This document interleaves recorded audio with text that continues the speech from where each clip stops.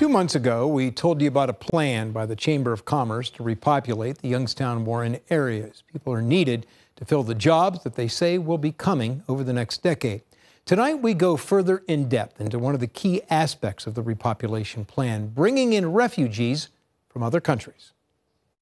In August, as part of its Salute to Business program, the Youngstown Warren Regional Chamber invited Lee Williams to speak about bringing in refugees. Well, he started a conversation with the Regional Chamber of Commerce uh, a while ago to talk about uh, interest in perhaps setting up a local resettlement agency in Youngstown. Lee Williams is with the Lutheran Immigration Refugee Service, or LIRS. LIRS is one of 10 national nonprofit agencies who work with local partners across the country uh, to welcome people into their communities, help them establish their new lives. The Refugee Admissions Program in the United States is run by the State Department, which this year allowed in 125,000 refugees. The goal of Lutheran Services is to get them self sufficient as quickly as possible. That means housed with jobs and kids in school in six months. And the only way that resettlement works well is to have the entire community engaged. But this community was built on the backs of immigrants moving here to produce steel. Mike McGiffin of the Youngstown Warren Regional Chamber and consultant Emma Lisniansky are driving the effort locally to repopulate, and both are in favor of including refugees.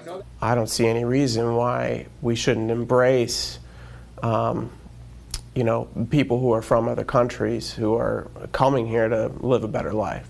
What's needed first is a sponsor for the resettlement agency, possibly Lee Williams Lutheran Services or Catholic Charities, which does refugee resettlement in other cities. So, by having a resettlement agency here, we'd be required to have at least 100 people come in a year as refugees, and it could certainly be more.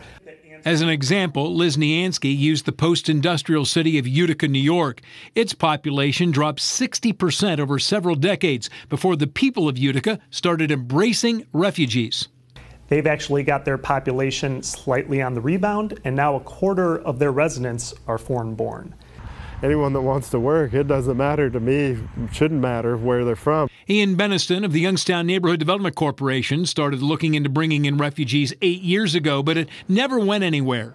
Beniston says Dayton has a neighborhood of Christian Turks, and then there's Akron. Akron, the north side, I mean, there's you can literally eat at a Bhutanese restaurant, go in a little Nepali grocery store. So, I mean, once you have a critical mass, too, they're creating their own microeconomies. For people concerned about bringing in refugees, Lee Williams says not to worry. Refugees are the most securely vetted people coming, uh, immigrating to the United States. The average time it takes for a person to go through the entire vetting process is between 18 and 24 months.